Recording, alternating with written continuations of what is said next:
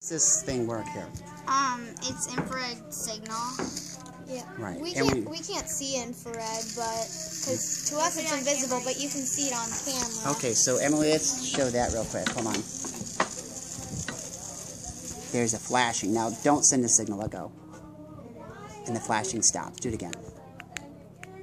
Your phone's on. And it's flashing. So on camera, that's how you could tell if your remote control at home, if the batteries need to be changed. If you put your camera in front of the infrared light on the remote control, you can see the light flashing.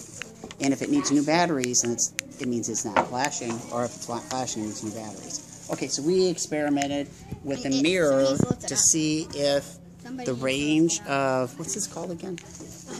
A Hexbug would go farther. So bring it back, Ben. Okay, let's see how far it goes. Turn it around this time. Let's see how far it goes. Okay. We're not going to use the mirror right now. Somebody doesn't How- need to lift it How up. long's the table, Benjamin? Uh, six feet. Okay. Ish. Yeah, keep going. It's hard to make it go straight. Yeah, it does got wobble. Same thing with Everstream. Oh, you need to hold it. Um, he was holding it flat with that. Yeah. We need to hold it at the right, at a fixed height to be. Oh, he's stuck. Okay, Does it tilt to the left or to the right? Because if it tilts to the right, hold the left longer, Is it and stuck? it'll make it go forward. Yeah, that's as far as it'll go. Okay, Mason, do the mirror.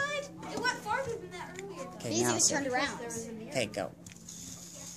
So Mason, why is the mirror helping it even though it stops? The infrared light is hitting the mirror and going back onto there. That is pretty awesome. So how far can we? Let's see how far we could go. It only pointed up a bit. Yeah, Mason. Yeah, d- yeah, keep going. Here, can I try? That's a really good trick. It makes me think that instead of a, a regular radio controlled antenna, which is usually metal, the infrared would be better with a mirror.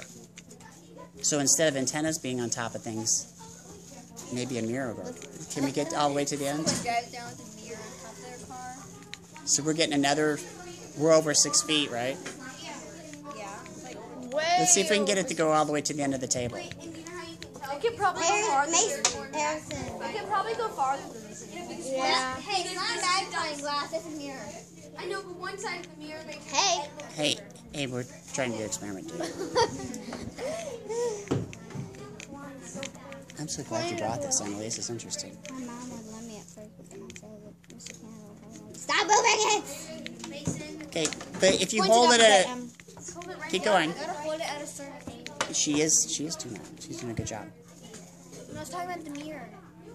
Okay, flip the mirror over because it's magnified on the other side. You got to get the right angle though. Closer. There you I got go. it, I got it. Okay, make sure it doesn't go off the table. Keep going, keep going. So what did we learn from this? Okay, we're good. And that's What does the mirror help us do then?